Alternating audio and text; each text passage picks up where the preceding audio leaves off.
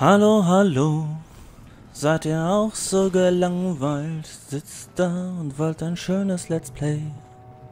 Okay, die Melodie habe ich zwar ein bisschen verkackt, aber trotzdem heiße ich euch damit herzlich willkommen. Denke. Auch dich, Wilhelmina, herzlich willkommen zu meinem Let's Play Fallout 4. Woohoo!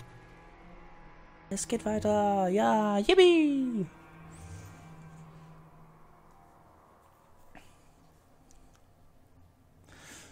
Lasst uns spielen, lasst uns spielen, lasst uns spielen. Zwischen Ödland und dem Commonwealth. Da bin ich auf der Suche nach Health. Und ihr denkt euch zurecht, halt dein Maul, lass uns spielen, lass uns spielen. So, keine Sorge, jetzt höre ich wirklich auf. Äh, dann gehen wir doch mal zu Good Neighbor. Ich glaube, da gehen wir diesmal zu Fuß hin. Ich muss ja nicht immer alle zwei Sekunden ein Ladebildschirm provozieren, oder? Habt ihr da was gegen? Ich hoffe nicht. Oder doch? Oh, der Boston Bugle. Da schauen wir doch später mal vorbei. Ihr Freund oder Feind? Oh, Feinde. Oh, Mine. Oh, fast tot. Oh, guter Beginn für ein Let's Play. Sorry. Ähm, ich guck mal kurz, ob ich denen was an den Kopf schmeißen kann. La, la, la, la, la. Äh, eine Impulsgranate. Du kommst dahin. Äh, eine Plasmagranate. Du kommst dahin. Was kann eigentlich das Revolutionärschwert? Das kann ja gar nicht mal so viel. Warum habe ich das mit? Warum habe ich so viele Minen anstatt Granaten? Und außerdem, wo zum Teufel bin ich hier eigentlich? Egal. Ah, ich sollte vielleicht auch mal... Fresst das, ihr Schrumpfköpfe!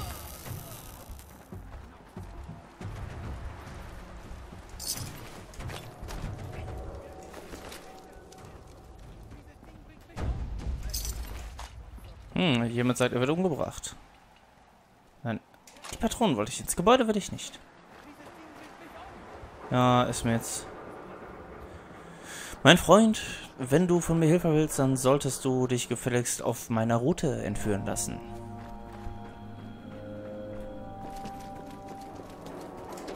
Dann gehen wir mal ins Good Neighbor.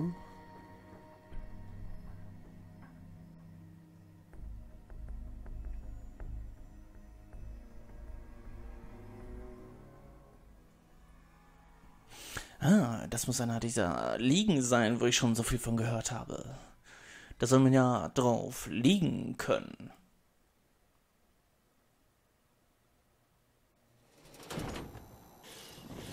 Das ist Good Neighbor. Preise für Reinlichkeit will hier bestimmt niemand gewinnen. Du Fuchs. So, Moment, wo ist denn jetzt? Äh, ich brauche die lokale Karte. Ah, das Third Rail, das ist hier. Ja. Was ist das? Nein, das ist der Memory Den. Ja. Ich kann's nicht fassen. Er hat auch wie Sammy ausgesehen. Hat sich aber anders als er verhalten. Das Institut denkt, es könnte Leute Hab gehört, Ach, dass du da. Das werden wir ja sehen. bist. Was? Bist Hm, überall sind Zins. Hm, die sehen ja aus wie Menschen. Die verhalten sich irgendwie auch so. Mi, mi, mi, mi, mi, mi, mi, mi. Mein Gott, ihr klingt ja alle wie Beaker aus der Muppet Show, ey. Reiß doch mal einen Schlüppi. Hancock sagt, dass Neuankömmlinge im Third Rail willkommen sind. Also geh ruhig rein. Ja, dann. Hm. In der U-Bahn-Station eine Partyhöhle machen. Ach, meine Kotzwurst, warum stehst du immer im Weg? Darf man das nehmen? Nein, darf man nicht. Ich bin ein lieber Mensch, deswegen nehme ich das auch nicht.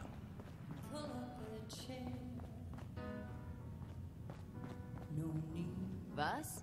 Wieder einer von euch Söldnern auf der Suche nach Menschen? Mann, ich liebe Hey, wir haben Bier. Und wenn du kein Bier bestellst, Mit wem soll ich Lass reden? dich nicht unterkriegen, Mann. Was? Da wurde gerade was eingeblendet. Ach, Manu. Das, dass du Eier in der Hose hast. Reden wir mit dem Barkeeper. Du wirst langsam zum Stammgast. Naja, das Bier schmeckt immer noch wie vorher. Beschissen. Kennst du Imogen Cabot? Den Namen kenne ich. Ist sie nicht ein wenig verrückt? Hab sie länger nicht mehr gesehen. Sprich mit Magnolia. Sie hat viele Freunde. Vielleicht weiß sie mehr über das vermisste Vögelchen.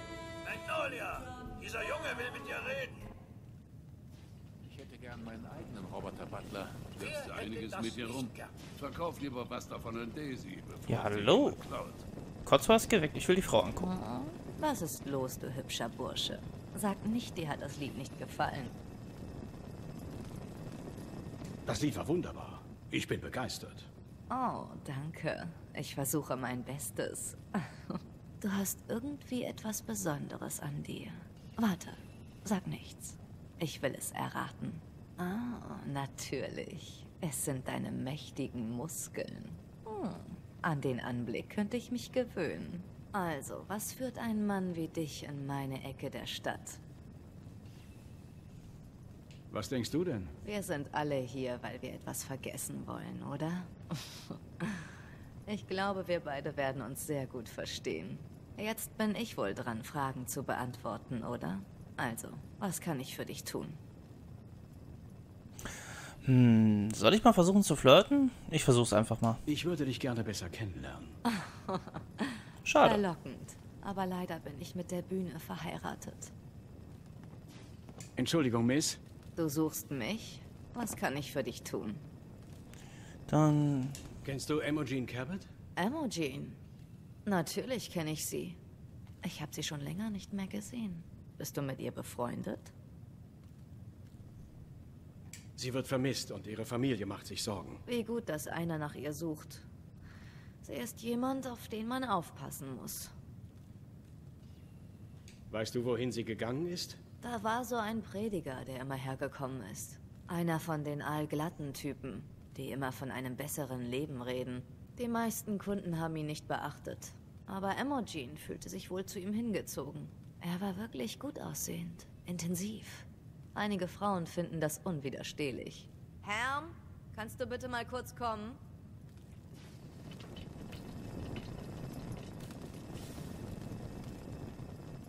Gibt es ein Problem, Miss Magnolia? Oh nein. Der feine Gentleman hier sucht nur nach Emojin. Weißt du zufällig, wo dieser Prediger herkam? Hm, Bruder Thomas? Ja, genau. Der, an dem Emojin immer dranhing. Ich musste ihn rausschmeißen. Er hat die Kunden mit diesem Erlösungsquatsch belästigt. Er hat immer gesagt, dass alle nach Back Bay kommen sollten. Dann hat er allen diese blöden Zettel unter die Nase gehalten. Hier, den habe ich aufgehoben, falls er die Zeche geprellt hätte. Danke, Süßer. Du warst uns eine große Hilfe. Für dich tue ich doch alles. Ich hoffe, Emojin geht's gut.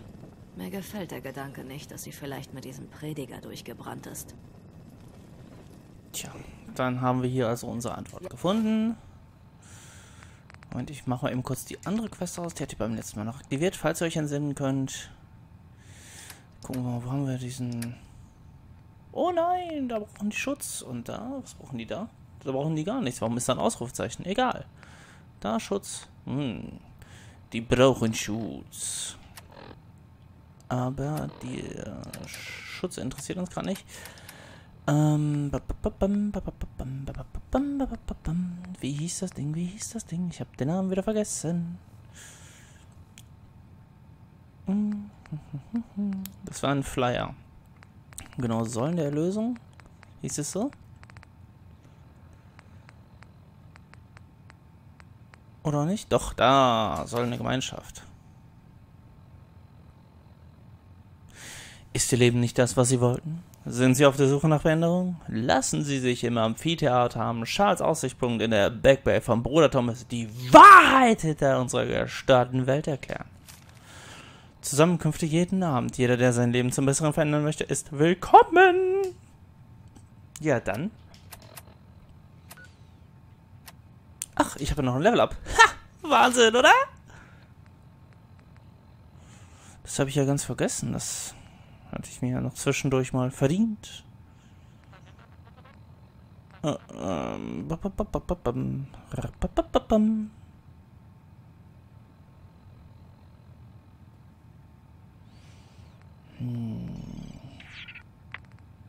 Ich brauche mehr Intelligenz, glaube ich. Ja. Es ist an der Zeit.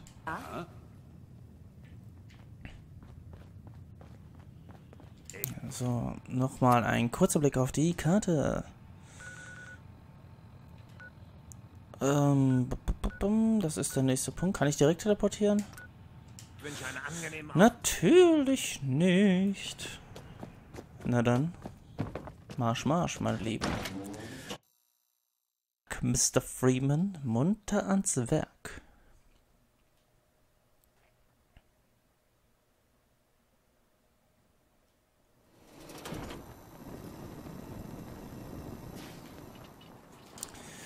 Von hier dürfte ich teleportieren können. Und wenn ich schon mal ein Ladebildschirm provoziere, dann will ich nicht einfach nur den Ladebildschirm provozieren, wie ich jetzt gleich Good Neighbor verlasse. Dann will ich nämlich direkt in der Nähe des Ziels sein. Weil, ihr wisst ja, Zeit. No?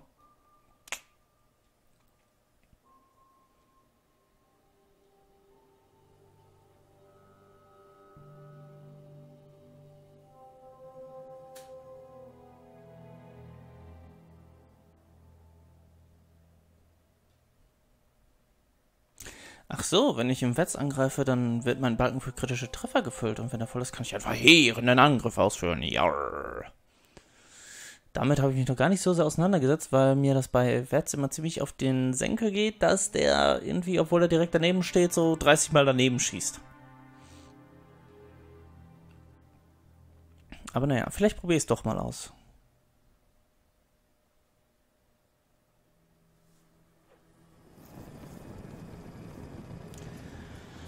So. Erstmal die Waffe zücken. Oh, Kronkorn. Richtig. Wir verstehen uns, Cotsworth. Ah, das Amphitheater. Ah, hallo? Äh, ah.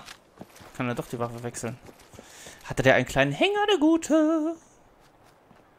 La. Der Schatz des Solleners. Hallo. Willkommen, Nächster. Wir sind immer froh, neue Gesichter zu sehen. Sag doch mal, fühlt sich diese Welt für dich zerbrochen an? Fragst du dich, warum es nicht wieder wie in den guten alten Zeiten sein kann? Die ganze Welt ist kaputt. Das habe ich auch gedacht, bis ich eine Möglichkeit fand, etwas zu bewegen, um mein Leben und das Leben aller zu verändern. Wir nennen uns die Säulen der Gemeinschaft. Wir sind eine neue Bewegung, also hast du vielleicht noch nicht von uns gehört. Aber wir wachsen im ganzen Commonwealth und auch du kannst Teil dieser spannenden Zukunft sein. Hier entlang bitte, dann erzähle ich dir gerne etwas über unsere Bewegung und darüber, wie du ein Teil davon sein kannst. Da heuchelt man einmal Interesse. Soll ich mich jetzt erst einschleimen? Hm, ich weiß gar nicht. Ich könnte vielleicht Missionen zur Folge haben, wenn ich mich bei dem einschleime. Ich versuch's mal. Klingt gut. Das ist ausgezeichnet. Ich weiß, dass du gut zu uns passen wirst. Keine Angst, ich beiße nicht. Nicht fest, oder wie? Ja, dann geh doch auch. Aha. entlang, Nächster. Will er mich jetzt hier vernaschen hinter der Bühne? Ich freue mich immer, neue Mitglieder willkommen zu heißen.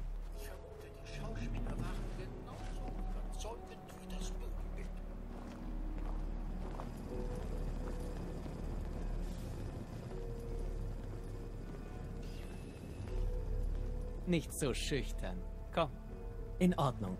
Hoffentlich freust du dich auch so wie ich. Ich finde es besonders schön, neue Mitglieder in unserer Bewegung willkommen zu heißen. Der erste Schritt ist einfach.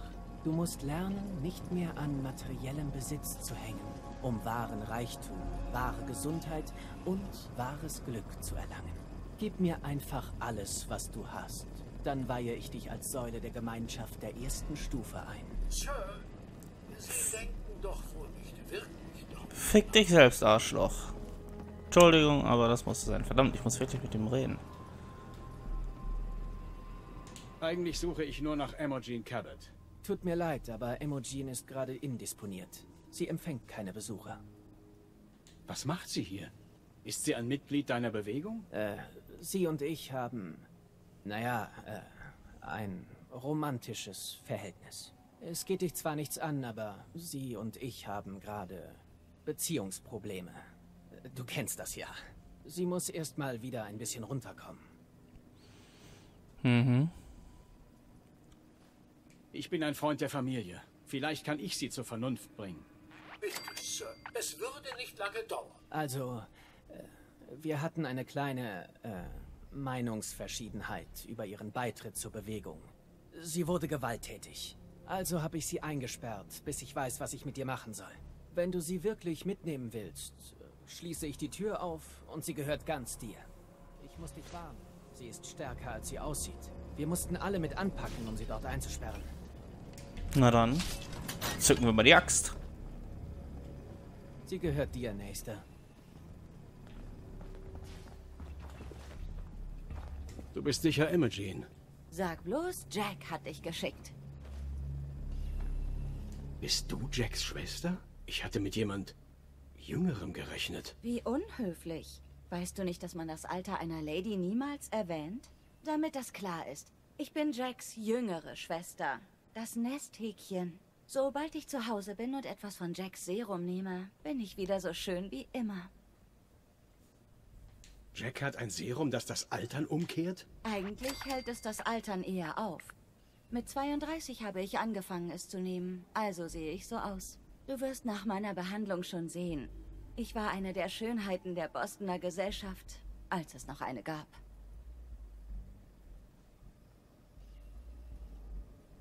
Was passiert, wenn du kein Serum bekommst? Oh, darüber brauchen wir uns keine Sorgen zu machen.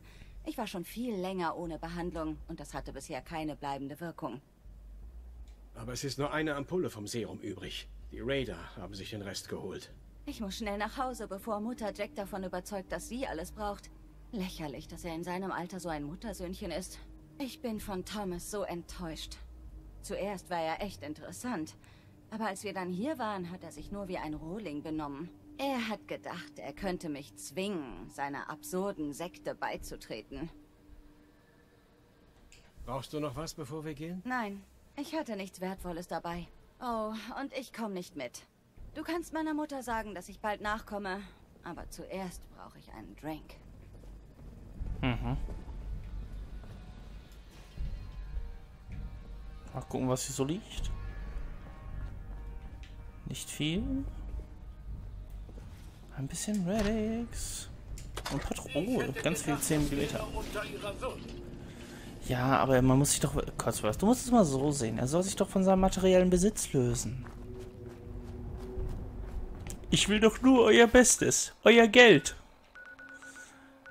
So. Das Haus der Capes. Ach, wisst ihr was? Da laufen wir diesmal hin. Man muss ja nicht immer nur teleporten und Ladebildschirm und Teleport und Ladebildschirm und wenn die Kreativität dann mal so richtig sprudelt, dann Teleport und Ladebildschirm. Deswegen laufen wir. Und genießen die Landschaft, die alten Werbeplakate, die Autos, ein Baseballplakat, Trümmerhaufen. Verwitterte Gassen. Insekten. Oh, Bläfling. Moment, ich brauche doch immer noch eine Drüse. Hätten wir das?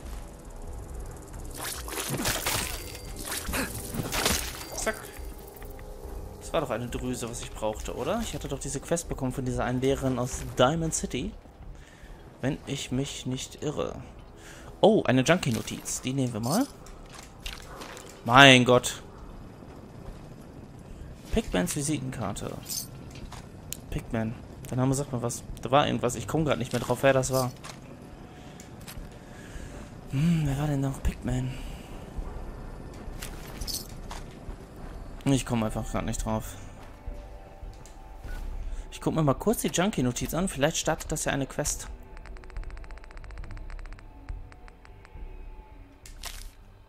Ah, cool. Der Dealer hat gesagt, dass es in Parkview Lounge ein großes Versteck mit Camps gibt. Schnapp sie dir, dann haben wir für die nächsten Monate ausgesorgt. Wir könnten sie natürlich auch verkaufen und uns was Stärkeres holen. Ja. Cool, wir haben ein Drogenversteck. Ja. Ich muss noch mal ganz kurz drauf gucken, weil ich will jetzt wissen, wer Pigman ist. Pigman war hier. Aha. Hm, ein Herz. Wo haben wir denn schon mal ein Herz gesehen? War nicht bei Nick Valentine? Ein Herz? Als Leuchtreklame? Ist er der mysteriöse Pigman? Who knows? Who knows?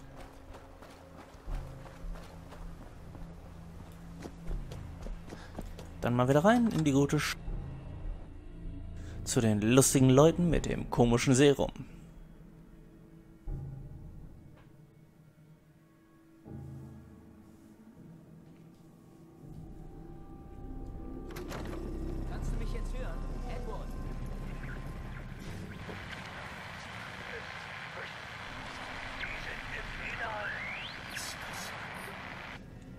Verdammt. Signal ist seltsam schwach. Hi. Edward, wechsle zum Hartley-Modulator. Hast du verstanden? Jetzt nicht. Ist das besser? Es funktioniert. Edward, was ist da los? Wir werden angegriffen. Sie sind im Gebäude. Im Gebäude? Kannst du sie vom Keller fernhalten? Ich versuch's, Jack. Ich habe noch nie Raider gesehen, die... Um Himmels Willen, Sammy, die Tür. Das... Entschuldigung, hier ist gerade einiges los. Hör zu. Wenn sie im Gebäude sind, musst du zum Büro und den Aufzug abschalten. Sie dürfen auf keinen Fall zu Lorenzo vordringen. Verstanden. Büro, Aufzug. Du solltest so viele wie möglich zusammentrommeln und rüber. Hallo? Edward? Bitte melden. Edward! Na, die Verbindung ist weg. Ganz weg. Was ist los, Jack? Wenn diese Leute in Parsons eingedrungen sind, wenn sie ihn befreien. Keine Sorge, ich regle das. Ich wusste, dass es so enden würde. Ich hätte nie zulassen dürfen, dass du Lorenzo dort einsperrst. Das ist nicht wirklich hilfreich, Mutter. Außerdem war es deine Idee, das Serum zu verwenden. Was wirst du also tun? Ich sagte doch, ich regle das. Ich überlege. Gerade brauche ich nichts. Vielen Dank. Was ist los? Das war Edward. Er ist in Parsons, der alten Irrenanstalt. Sie werden von Raidern angegriffen. Seltsam. Die Wachen haben sonst die Raider ohne Probleme abwehren können. Ich weiß nicht, was diesmal schiefgelaufen ist. Was ist passiert? Die Wache in Parsons hatte gemeldet, dass sie angegriffen werden. Edward ist ihnen zu Hilfe geeilt. Ich konnte ihn nur kurz erreichen. Hab nicht viel erfahren, aber es klang so, als ob die Sache dort fast außer Kontrolle wäre. Ich frag mich, ob es dieselben Raider sind, die die letzte Lieferung gestohlen haben. Wenn sie das unverdünnte Serum verwendet haben, würde das ihren ungewöhnlichen Erfolg gegen Edwards Männer erklären. Was genau bewirkt das Serum? Dafür ist jetzt keine Zeit. Ich erkläre es dir unterwegs. Moment mal. Hast du nicht nach Emojin gesucht? Hast du sie gefunden? Ja, ich habe sie gefunden. Es geht ihr gut. Oh, gut. Zumindest ein kleiner Trost an diesem scheußlichen Tag. Du möchtest eine Bezahlung haben. Normalerweise regelt Edward diese Dinge. Kronkorken sind eure Währung, richtig? Hier. Ich hoffe, das ist der richtige Betrag. Bevor wir gehen, musst du eines wissen. Wenn wir in Parsons sind, musst du genau das tun, was ich dir sage. Nicht mehr, nicht weniger. Verstanden? Ja, mein Imperator. Warum ist das so wichtig? Wenn die Eindringlinge an Edwards Männern vorbeigekommen sind, haben sie vielleicht eine höchst gefährliche Situation verursacht. Ich bin der Einzige, der weiß, wie man mit diesen Gefahren umgehen muss. Ist das deutlich genug? Eigentlich nicht. Verstehe. Gut. Stell sicher, dass du alles für einen ernsthaften Kampf dabei hast. Ich warte draußen auf dich. Tu ihm möglichst nicht weh. Ich liebe Vater genauso sehr wie du. Aber du weißt ebenso wie ich, dass es nur eine Option gibt, wenn er ausbricht. Lass es nicht dazu kommen. Bitte. Ich werde mein Bestes tun, Mutter. Und wenn Emojin endlich nach Hause kommt, lass sie um Himmels Willen nicht wieder gehen. Jetzt muss ich aber wirklich los. Oh, was willst du? Mhm. Dann sind wir mal gespannt, was er mit seinem Mutantenvater macht. Also ich vermute zumindest mal, dass er einen Mutantenvater hat, weil sonst wäre das ganze Palaver ja eigentlich Tinnef. Ähm, ja, alles für einen ernsthaften Kampf. Dann checken wir doch mal. Eigentlich habe ich sehr wenig Granaten und Wurfdinge. Finde ich sehr schade. Ähm ich guck mal kurz, ob es hier eine Kochstelle gibt. Dann bereite ich mir mal etwas zu essen vor. Denn ihr wisst ja, ohne Mampf kein Kampf.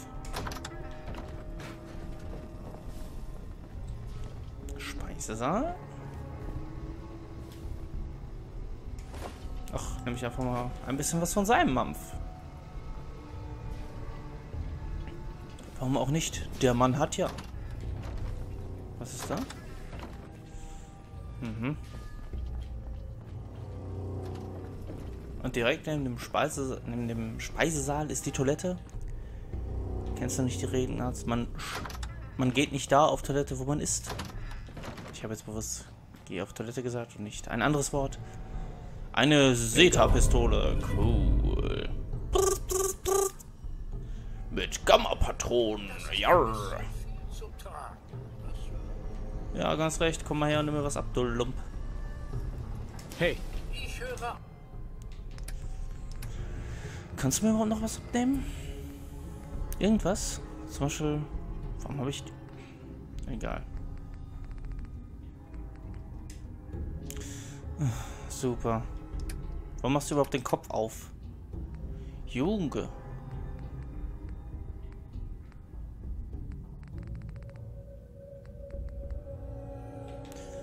Habe ich eine Waffe, die ich loswerden kann, die ich vielleicht doppelt habe?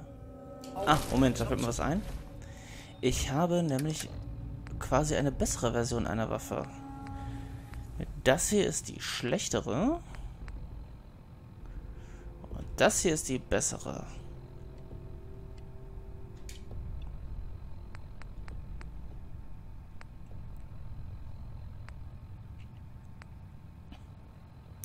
Kommt die nämlich weg. So sieht's aus.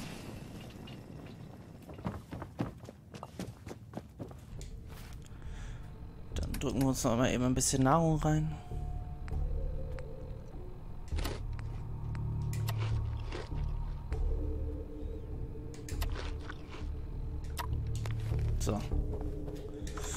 Und raus. Aber ich bin mir gerade ehrlich gesagt nicht sicher, ob ich die Mission wirklich jetzt machen will. Weil, wenn ihr mal auf die Uhr guckt, die Folge ist schon so gut wie zu Ende. Ich überlege noch, ich hadere noch mit mir. Ne, ich mach's nicht. Es dauert, es dauert schlicht und ergreifend zu lang und ähm, das würde dann ein bisschen ausarten und sich dadurch natürlich auch extremst in die Länge ziehen. Ähm,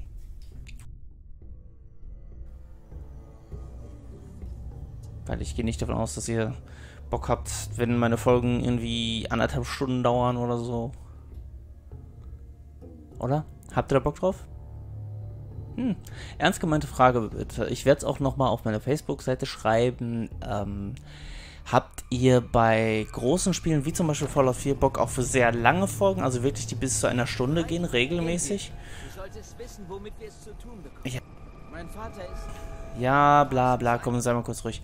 Ähm, also wenn ihr Bock auf längere Folgen habt, dann möchte ich, dass ihr mir das sagt. Also, ne, entsprechend dem Spiel angemessen. Also jetzt bei der, wenn ich jetzt StarCraft 2 oder sowas machen würde, dann würde ich natürlich die Folgen versuchen, wenn das nicht zu sehr ausartet, immer eine Mission, eine Folge. Kann man ja sehr einfach strukturieren.